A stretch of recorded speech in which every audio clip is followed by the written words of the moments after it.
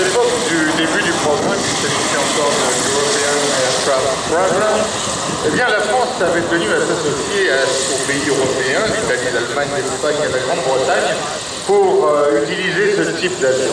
Malheureusement, eh la marine nationale de l'aéronautique navale avait besoin d'un avion pour équiper d'abord le porte-avions Foch, ensuite le porte-avions Charles de Gaulle, et l'Eurofighter, euh, ayant pris du poids, n'était plus navalisable. C'est la raison pour laquelle la France a dû voler de ses propres ailes et construire la version marine du Rafale, et ensuite les versions armées de l'air monoplates Le Typhoon de cet après-midi nous était présenté par le major Raphaël Beltrame.